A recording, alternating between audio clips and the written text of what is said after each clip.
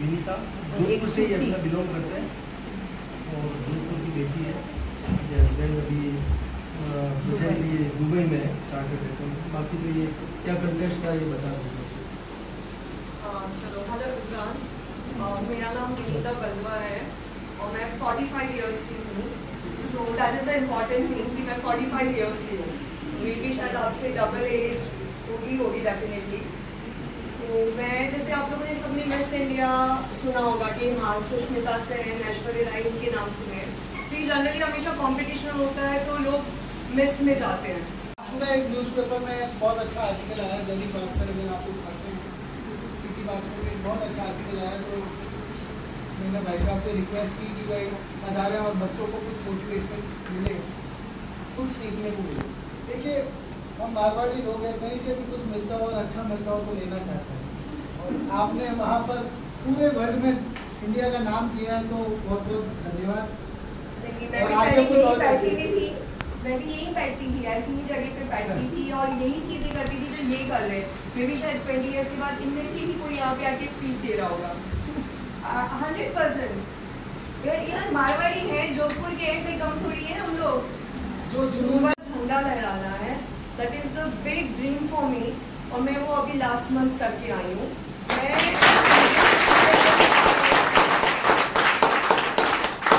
मैं इंडिया को रिप्रेजेंट करके आऊँगी हार के तो क्या ही आना है। और जोधपुर का, क्योंकि लोग इंडिया को जानते हैं। इंडिया में राजस्थान है, वो तो पता ही नहीं है। और उसमें जोधपुर तो कहीं दिखाई ही नहीं देता।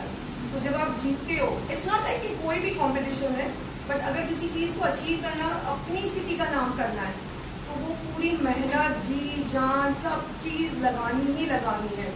फ्री में कुछ नहीं मिलता है।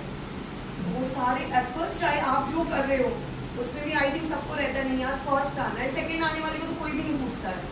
तो अपना हंड्रेड परसेंट हर चीज़ में देना। और मैं जहाँ गई थी, वहाँ ऑलमोस्ट टू फिफ्टी कंट्रीज़ थी।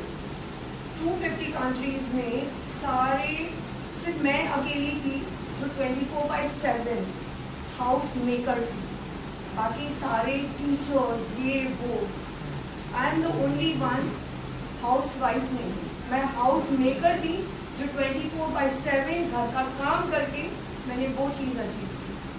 मेरे साथ कैलिफ़ोर्निया वाले साउथ अफ्रीका वाले थाईलैंड वाले, सारे कंटेस्टेंट थे जो सब इंग्लिश बोलते थे। मैं ऐसी थी जो हिंदी बोलती थी।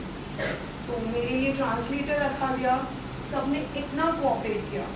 हमारे साथ इतने राउंड्स होते थे like fashion round interview rounds your orientation everything जब टॉप सिक्स में आई, तब मुझे लगा, यार, या तो पहले ही आउट हो जाऊँ, नहीं तो जीत के निकलना है। और अलग अलग कंट्रीज़ के साथ कॉम्पीट करना is not easy I think आप लोग भी कॉम्पीट करते हो तो लगता है, यार, ये मेरी फ्रेंड है, इससे तो जीतना ही है, बाकी तो कुछ भी होगा, देखा जाएगा।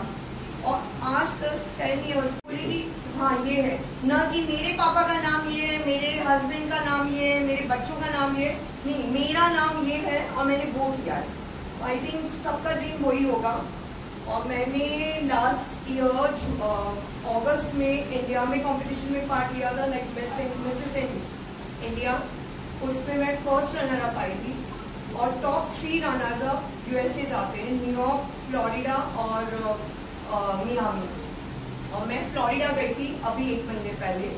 वहाँ पे उसकी ट्रेनिंग के लिए ऑलमोस्ट मैंने पाँच महीने छः इंच की हिल पे वॉक किया है।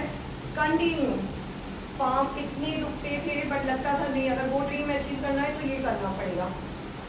और खाने में घास फूस सब, वही सब खाया। ये मिर्ची बड़ी प्याज की कचौड़ी तो सब भूली गई थी, कैसी कैसी दिखती है। कि नहीं। अगर ड्रीम्स पूरे करने तो आपको सेक्रीफाइस करना है। मेरी बेटी यूएस में पढ़ती है, वो 21 इयर्स की है। तो उससे मिलने के लिए भी मुझे वेट करना पड़ता था कि नहीं, अभी मुझे यहाँ जाना है तो मुझे ये चीज़ पूरी करनी है। मेरे बेटे के एग्ज़ाम्स चलते थे कि नहीं, मुझे